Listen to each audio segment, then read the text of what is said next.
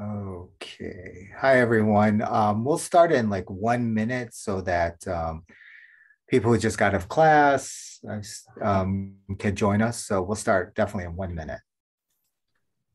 And feel free to turn your cameras on so we can be more than just four people seeing each other. we see each other all the time. So new faces is always welcome.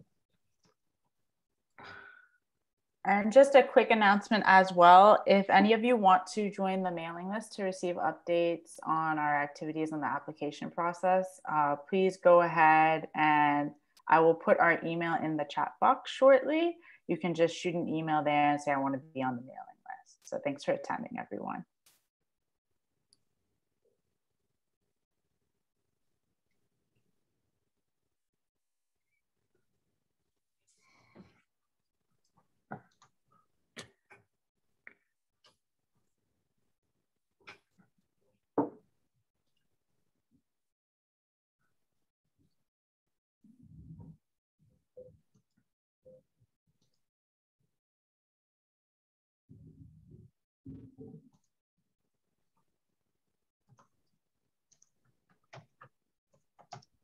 Okay, why don't we um, get started uh, for this informational session on EnviroLab Asia.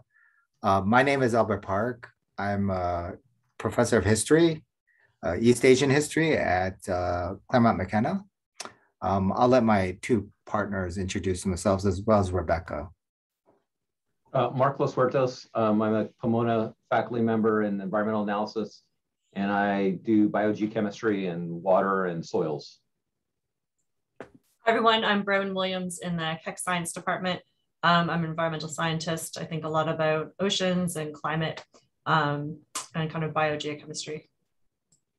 Hi everyone, I'm the project administrator for EnviroLab Asia, so questions are usually directed to me. Thanks. Um, so we um, are holding this uh, informational session that we originally we originally held one last week that was in person, but we thought that it would be helpful to have a virtual one for those who weren't able to attend. So EnviroLab Asia is a five college initiative anchored at CMC, but it's a five college initiative to study environmental issues through a cross-disciplinary lens. So if you go to our website, which is under still under construction, but you can still access um, everything on the website still, uh, you'll see that EnviroLab Asia consists of many components that supports faculty, student research, and, and collaborations. And, and at the heart of all these collaborations and uh, kind of um, uh, research teams has been the intersection between science, social sciences, and the humanities, which I think helps us to stand out as a as a, a program that really does try to fundamentally cross-disciplinary work.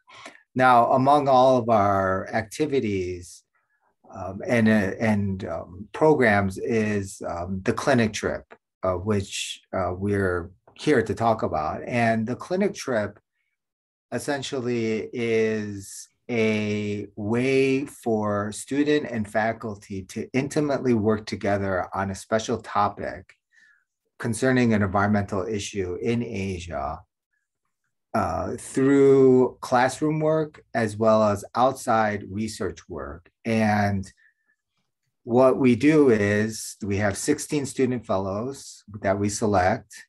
We have them um, uh, attend a class. It's called Environmental Asia Research and Methodologies, which is going to be held on Mondays from 1.15 to 4 p.m. And that's a fixed time. So, um, and that's a fixed day. So that, that, that's set in stone. Um, and uh, for 15 weeks, the students uh, learn about different research methodologies, about how to study the environment as well as the region and country that we're that we're studying learning the culture history various aspects of the region and culture of the of the of the area that we're covering. Uh, in the class, the class itself will be split up into four labs, four research labs that are led by faculty members. Um, and on your applications, you've seen already that um, what are the four labs and what they're planning to do. Um, the labs led by the faculty leader will work outside of the classroom. Um, usually, not it, it's it's something that's uh, kind of negotiated between the students and faculty member about how many hours outside the classroom, but it's not so many hours, not like like I would imagine so many you know, extensive hours outside of the classroom, but uh, kind of a manage, manageable amount of time where you work on the research project together. And the hope is that during the semester you will work on it and prepare, work on it in a way to prepare for our clinic trip which will be held in uh, um, various parts of East Asia that were uh, parts of China, considering Taiwan, Hong Kong, it might be mainland China. Now, um, just to um, kind of um, help you understand what we mean by China. So when we originally, first we acknowledge that the word China is complicated because it could mean various different um, land spaces, bodies, and so forth when we originally uh, thought about going to China, we actually thought about going to mainland China. Um, but as we started to work out our uh, labs and uh, solicit uh, lab um, kind of proposals from faculty members, uh, we expanded it to think, well, we're not only not going to ma- mainland China, but then some labs want to go to Hong Kong, some want to go to Taiwan and perhaps some other parts where you have the China, Chinese diaspora. And so at this point, what we'll study in our class, as well as what we'll emphasize in our labs, is that generally speaking, we're when we're focusing on China, we're focusing on areas that have been heavily influenced and um, and continue to be influenced and guided by you know what we would consider Chinese history, culture, practices, traditions, institutions, and so forth. Um, whether that be in Hong Kong, Taiwan, Macau, or, or even parts of Hawaii or the United States and so forth. But but but um, we definitely do have the labs thinking already going to mainland China, Taiwan, and possibly Hong Kong. Um, I think that is about the overall description of the lab and the um, and the and the class.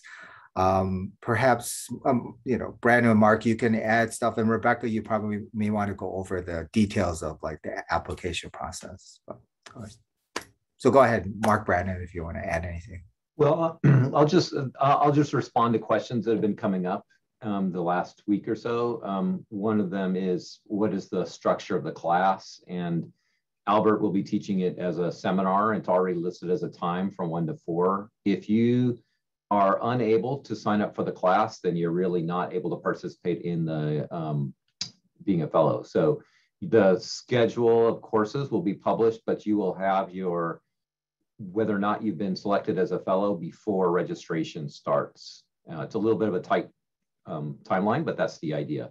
So, you know, if you find that you need to graduate or you have some required class that you can't um, uh, avoid, then you'll just let us know and we'll go to someone on the waiting list if you're not able to participate.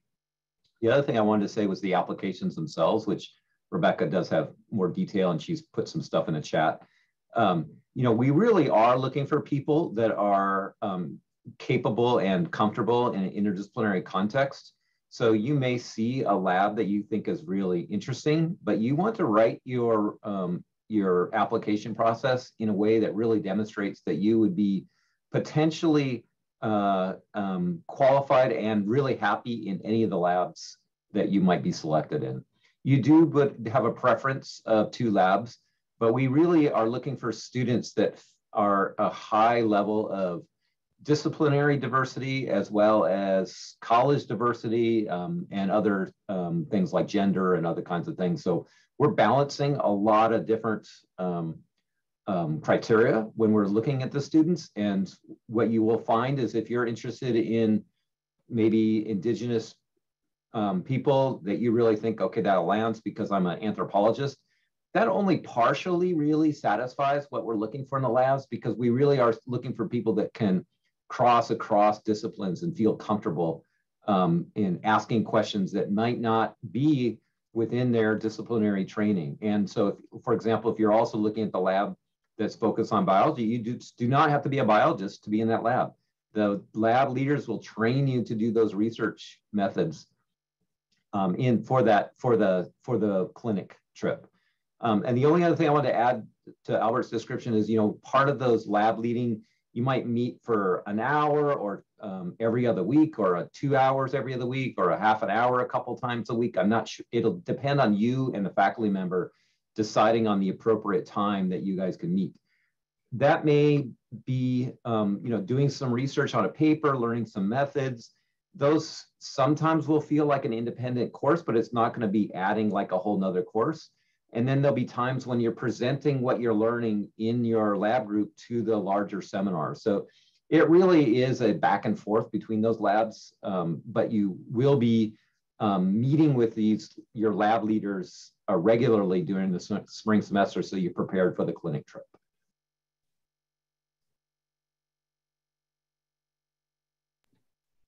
Oh, by the way, the clinic trip will be two week. Uh, will be two weeks. It will be right after um, graduation. So Pomona and Pitzer, I think, graduation on Sunday. Um, so the day after uh, uh will be the beginning of the clinic trip um, for two weeks.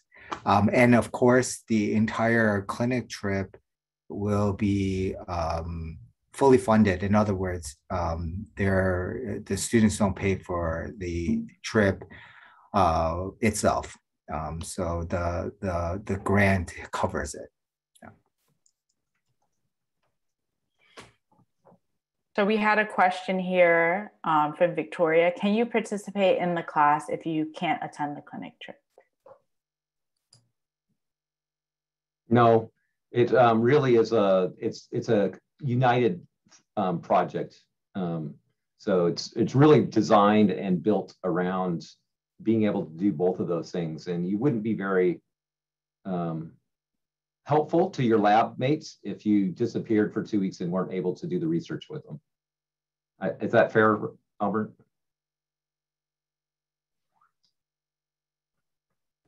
Sorry, Branwen, were you going to say something?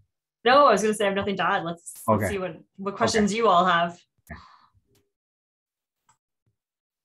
And again, just to reiterate that I have put the file for how to apply in the chat box. And if for some reason you cannot access it, you can email us at envirolab.asia at cmc.edu. Please also bear in mind this information is being widely circulated through our mailing list on social media. So you can go to Twitter, Facebook, or get on our mailing list and you will probably receive these materials multiple times. So yes. All right, another question. How likely is a clinic trip going to happen? I know some study abroad programs to China for the spring were already canceled. This is from Eileen. Uh, the clinic trip will happen because we have backup domestic locations uh, in the United States. And the one destination that is being discussed is Hawaii. So I can't, we cannot guarantee it will be held, but there is very, we will very much likely hold the trip um, this year. Okay, we have another question. What makes for a strong candidate? Prior research experience, upperclassman, major, etc. I would say that I don't think there is a single one strong candidate. We're not looking for 16 of the same type of person. We're looking to have a, um, a team of people that, you know, really complement each other. So there's different things we're looking for. We are looking for um, representation from the colleges and different experiences coming in. Um, I would say we would prefer sophomore and juniors, although we have taken first year and seniors with us. Um, first year sometimes aren't quite ready yet. And then with seniors, it's always nice if they can come back onto campus to, to share their experiences the following year. And if they're seniors, then they won't be here. So um, we tend to look at sophomores and juniors, but we have, again, we've taken everybody. Um, but I think putting a lot of thought into your application and being authentic in who you are, we're not anticipating any previous experience. Um, some of our students we've taken have never traveled abroad before, some have traveled a lot. So it really is just um, putting forth kind of who you are and know that probably more amazing people will apply than we can accept. And so acceptance or if you're declined is not a reflection on a view at all. It depends on just kind of who applies and how we can put together kind of a class that's going to um, really complement each other to build a strong program. Um, and then there's a lot of other ways still to be involved with EnviroLab Asia on campus. And so if you join the mailing group, then you'll get a lot of emails about stuff that we're doing. We're still ramping up um, this semester, but in the spring we should have a little bit more going on.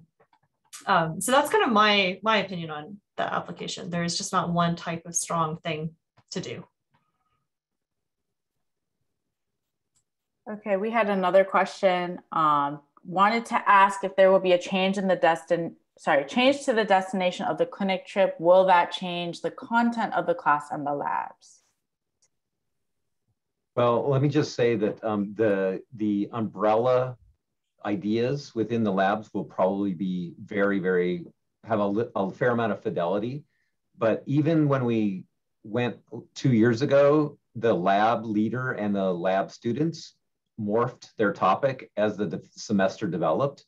And that happens naturally. So, so there, there is, again, the similar kind of thing um, that we've sort of harped on is you, you come into this with a fair amount of flexibility to what's going to happen. And the topics will probably not switch for disciplines over, but you might find that the boundary of the discipline shifts a little bit as we get closer to the course or as a lab group you might um, decide that you know this topic is really interesting and this is the way we're going at it now that the four of us are are meeting together every week and talking about it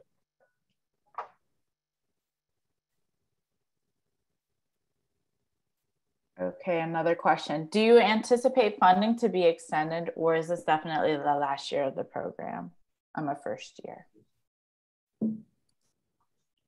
Well, I don't, um, at the moment, we are working to make sure that we can sustain this over the long term. So we can't guarantee anything right now, but there is uh, there's a lot of effort being made right now to make sure that we could hold this next year and and and the up upcoming years. We'll have more information on that probably more towards towards the um, towards the spring.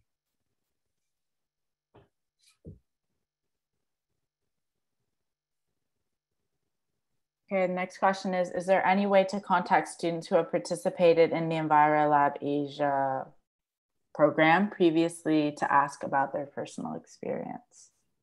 I can answer this one if you want, Albert. Okay, um, hi everyone. So the materials that I just posted, it's a PDF. There is a QR code there and it actually is a pretty lengthy video, not too lengthy, but long enough for you to get the gist of the program. And it's um, interviews with alumni from 2015, 2016. I mean, we don't give out people's emails, obviously, but I think that's a pretty good capture of what the program's about, and it would be very helpful for you to watch it. So mm-hmm. that's on that PDF file that has been uploaded to the chat box, the QR code. Okay. All right, another question. Is it possible for the program to count for the environmental analysis major's additional nature science requirement? We have um, played back and forth with how the course satisfies and or doesn't satisfy EA requirements. First of all, there are very few students that are EA majors in the program, so it's a little, um, it doesn't always land perfectly well to have course requirements that satisfy majors that aren't in the EA program. But our first year, Albert and I both taught a, a science class and a um, humanities-based class. And the science class did satisfy the EA science requirement, but asking the students to take two courses for the clinic uh, for the to being fellows was way too much. so we dialed it back to teaching only the um, CMC history slash EA20 course, which does satisfy the humanities for a couple of the colleges, but we have not been uh, not feeling that we can load yet another class on the fellows for the science um, course. So there are other courses that satisfy EA30 and focus on East Asia, um, but uh, those I don't think they'll be taught this year. Okay, next question is related to similar a similar topic. Does any portion of the program count towards the CMC Lab Science GE? No. Uh, the next question is when planning out our schedule, how much additional workload should we anticipate from the labs? Hmm. Uh, I mean, again, this is something that you work out with your faculty lab leader and there really isn't a set amount for each week because in the beginning it could be a little um, more hours where uh, you maybe maybe one, two, or three additional hours, and that includes not only meeting but also the with the work time. Um, but as you progress through the sem- semester, there might be less amount of work because you've done it all uh, in the in the very beginning. So um, it really it really does vary. I think the faculty lab leaders have always been very sensitive to the time of the students and knowing not to um, uh, kind of ask them to do too much work outside outside of the class. Um, so again, that's something that there's no definite answer about how much time you work on it. It really does depend on how much you uh, how much the, how the discussion between the lab leader and, and the student. Um, Amira, you have a question? Yeah, um, I'm a Chinese language learner, and I was just wondering if there are opportunities to like improve Chinese or like use my Chinese as part of either the trip or the class.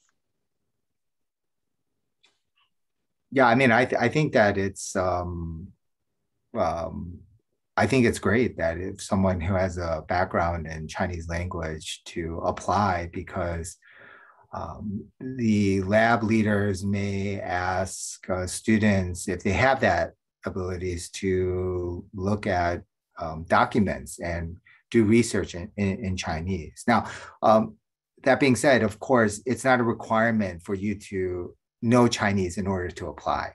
Um, so don't it, you don't have that background. That's okay. No, there's no problem with it. Um, I think it, if someone is selected that has a who has a background in the Chinese language, I think it it, it does really helpful. And of course, when you go to let's say perhaps you go to parts of mainland China, then you'll be of course be um, uh, really useful to the group because you can speak the language um, as well. Um, when we um, traditionally in the past, we have um, sometimes we could hire translators or we can use translators or we relied on our academic partners uh, for translators uh, to translate stuff. So, um, so, um, so yeah, like I just want to mention, don't don't think that you have to know Chinese to apply to this this program. Yeah. Thank you.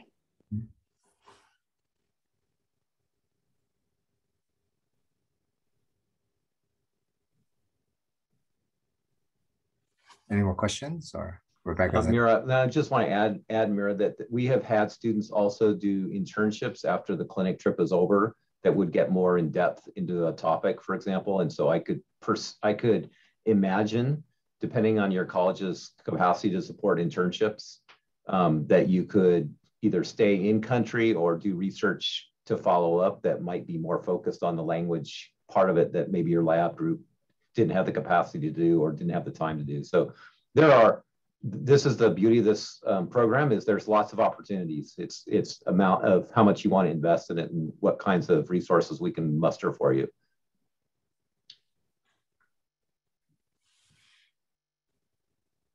Uh, is there any more questions or um, for us?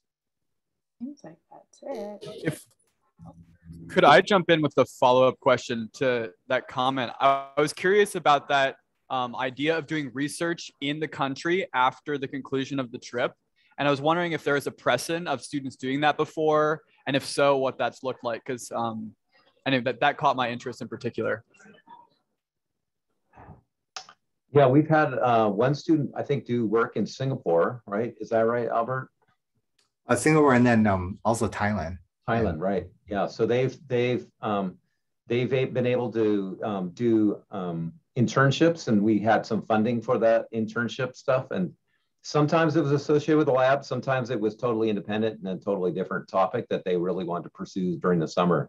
So I don't think we saved a lot of money for internships this year, but I'm pretty sure CMC and Pomona have some dedicated funds for students from those colleges that could uh, do an internship in the summer. I think, Valerie, you still have two internships this summer, right? Or one? Yeah, I think that um, if you're a CMC student uh, and you become a fellow and you want to um, do an internship in the area at the place that where we're going, then uh, we can work with um, the Soll Center in arranging funding. Um, and I, I, think the same thing with Pomona too. Yeah. And, and and and that's not because we deliberately just focus on CMC and Pomona. It's just that's where the, the two schools had offered uh, the, that line of funding um, um, for EnviroLab Asia. But we've had Scripps students work in um, yeah. Burma and uh, Thailand, so you know that yeah. there have been some it, once you, you know once you get here, we're going to find stuff for you as much as we can. Uh, thank you very much. Appreciate it. Looks like Chloe has her hand up. Yes. Hi, everyone. Um, so I have a question relating to there seems at the end of each lab to be this kind of final product that you do, I'm assuming, with your cohort. Does that take place before the clinic trip at the end of the class, or is it something that you're working on during the clinic trip and after? That's taken many different forms through the year. So there's no one answer.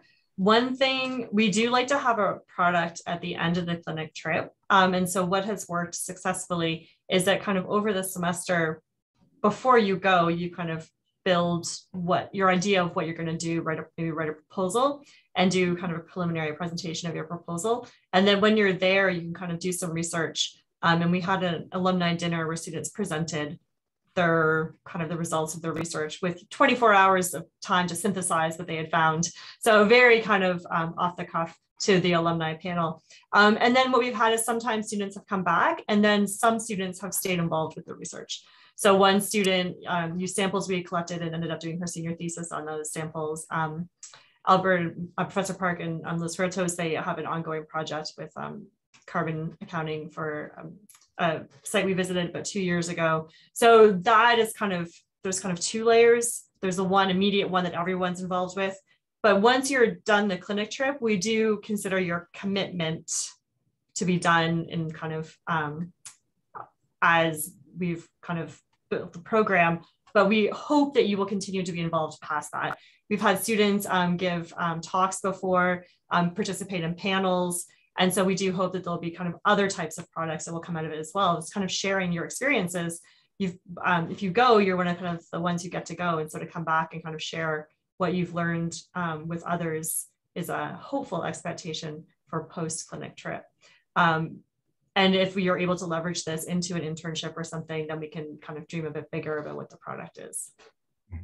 Awesome, thank you. Um, and I do have one follow-up question. You just kind of painted a more clear picture for me. So in terms of the people that come along on the clinic trip and that you also engage with during it, it sounds like each lab is four students, if that's correct, 16 total. Um, and then the professors from the labs come, I'm assuming, and then you. And then who do we kind of interact with during the trip um, within like those lab groups? Yeah, so that varies a lot again, depending on the lab. We have worked with nonprofits before, um, with academic institutions, um, who else have we worked with? Um, with contacts that we've made through some of our faculty lab leaders. So it really depends, but we always try and have a local partner um, so that we're not just going in and doing our work and leaving. So we like to contribute to a project that's going on there. Ideally, the project gives back to them. um, in some way, but depends again on what the project is and how it works. But there will always be someone on the grounds there that we're, we're working with. We've been able to do that model every time, but who that is has been different depending on the project and the goal. Great, thank you so much. Um, and just for the lab sizes, we aim for 16 students, but there was one year, I think a few more students squeaked in. So. And budget, depends on budget. Depends on budget.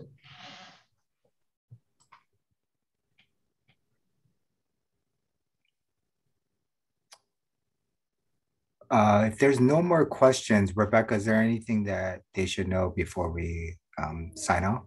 Um, yeah, I can just list some very quick um, deadlines so you guys know what the time frame is because I'm sure some of you will apply and then you'll be waiting for emails like for a really long time checking every day. So applications are currently open now and you can access them. I believe I put the link up. It's uh, tiny On the application material. Let me just make sure. Okay, so it's tinyurl.com backslash China Fellow. Again, information is in the chat box. We'll be on social media. You can't miss it unless you're not checking any of these things. The applications will close on the 20th of October at 10 p.m. So please make sure that it's in by that time. We won't be accepting them afterwards. And then just to give you a general time frame, the last week of October and the first week of November, we will be doing interviews. So that will be if you are selected during the initial phase, you will go on to the interview stage. Um, for all of you, all of you will hear back with a decision whether you're accepted, waitlisted, or not accepted by November 15th at the very latest. But you can expect to hear back a little bit earlier than that if you have been accepted. So November 15th will be the last day to wait. Mm. Um, there's one more question. Ray, uh, is it Rhea? Not seeing this. Oh.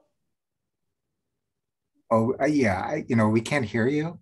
Here, let me. Oh, yeah, you're muted. Right. No, no. Wanna, Rhea, do you want to send it to us in the chat if your sound's not working? She's yeah, she's typing it. Okay.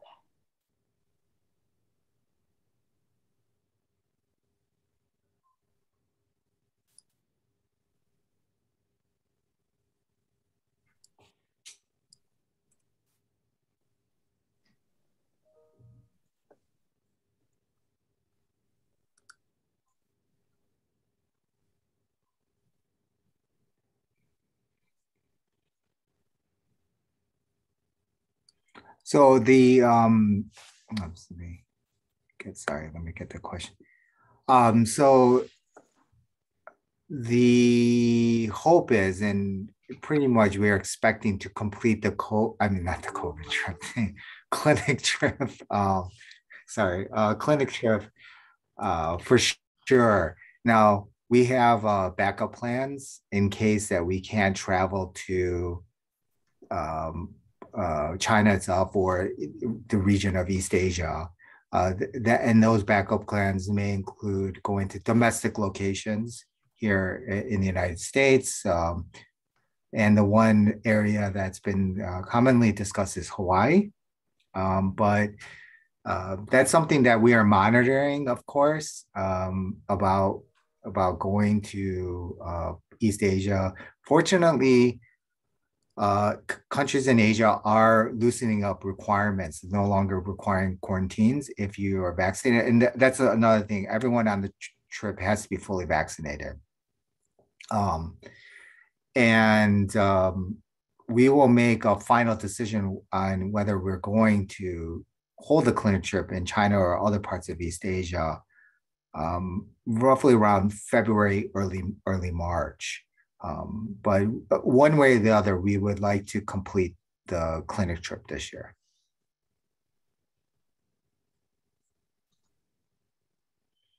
Okay, I think that's it. Um, feel oh, free oh, to, oh, sorry. Sorry, there's one more question. Um, what types of questions would be asked during the interview? I would say we're not going to give that away. As I look at the, the, interview questions here. one of the things to consider too is we want it to be a fair process. So we wouldn't give something that like yeah. we wouldn't talk about that with a group like this. I know the recording's available, but some people attended an info session last week. And the big thing is we want everybody to have the same experience when they interview. Um, so we would um, if if that was something that we wanted you to prepare for, then we would have made sure that was freely available to everybody in the application materials. Um, but the questions are not designed to um, stump you. They're just designed to get to know you a little bit um, and for you to get to know us a little bit and what the labs are. So they're um, meant to, to kind of, um, yeah, just be, be gentle questions to have more of a discussion. Um, and you don't need to think about it as like an evaluation. And just to let you know, yeah, exactly what yeah, that's exactly right, Branwen. That's spot on. Just to let you know, um, the lab leaders um, will be in the, um, not every single lab leader will be in the interview, but um, the, if you, for example, have um, selected two labs that you wanted to be part of, and that two lab leaders had selected you, they'll, um, you'll have two separate um, probably interviews with each lab leader. Um, and Rebecca, uh, Rebecca will also be in with at the interview, helping to ask questions. Um, Branwen, myself, uh, Marc may enter the conversations here and there, or maybe the interviews, but by and large, we won't be present at the interviews. But we are lucky to have two lab leaders here with us today. Oh yeah, Three. Oh yeah, yeah, yeah. Definitely. Sorry about that. Yeah. Um, okay. Is there any more questions? If not, then uh, feel free to email Rebecca or any of us if you have questions about any anything. And we look forward to um, getting your applications and getting to know you all. Thank you for attending, everyone. We hope this has been helpful. Okay. Bye bye. Thank you all. Thank Bye. you. Thank you so much.